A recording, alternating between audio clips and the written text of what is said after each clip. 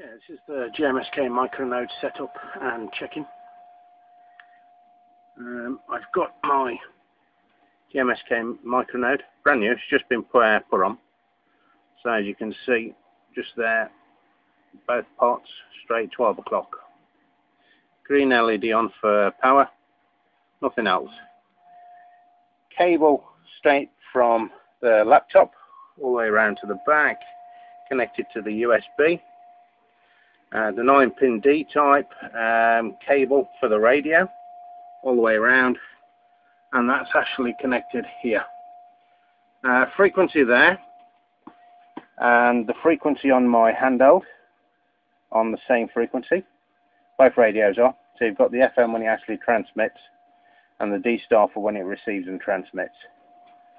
So what I'll do now, just do a check and make sure it's ready to get configured.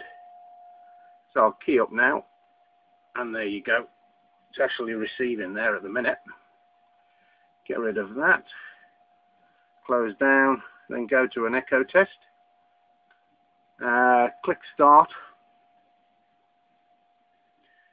Okay, M0 AOV testing, one, two, three. Going to on key now. Ah, right. All I'm receiving there sounds like D-Star, but over FM. So something's been set up wrong. If you look on the uh, micronode, red LED for the PTT, and it's keyed up the radio. So something's set up wrong. I know what it is. So I'll just close this down. Now go to uh, config file. Right, there it is. TX invert. Because with my Kenwood, I'm transmitting on uh, 70 centimeters. So I need the TX invert on.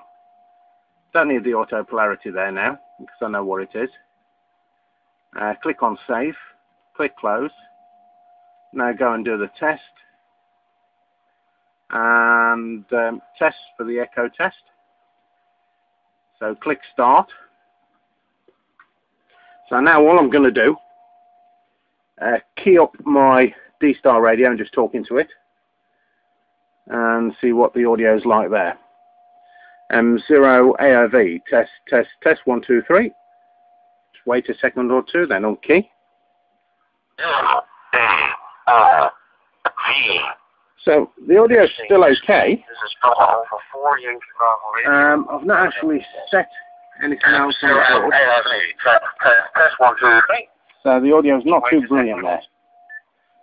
When the PTT light comes on, um, my Kenwood would get transmit, uh, transmit uh, the FM, and then my D-Star will receive it. So what I need to do, do another test and make sure that the audio's sounding a lot better, i.e. my side. M0 AOV, test, test, test, one, two, three. Second or two, then on key. M0 A,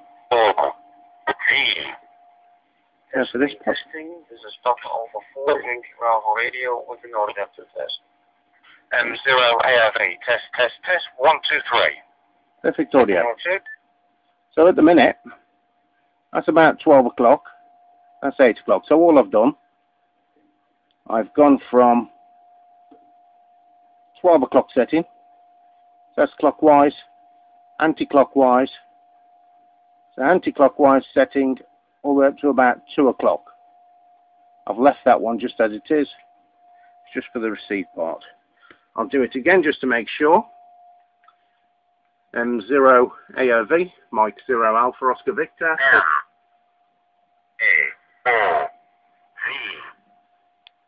Testing, testing. This is Papa Alpha 4 Yankee Bravo Radio with the non-adaptive test. M0 AOV, Mike 0 just cut off short because that's all I did. So, there you go, fully set up. Uh, click stop, click close, close that, close down, uh, go to DVAR version 2.5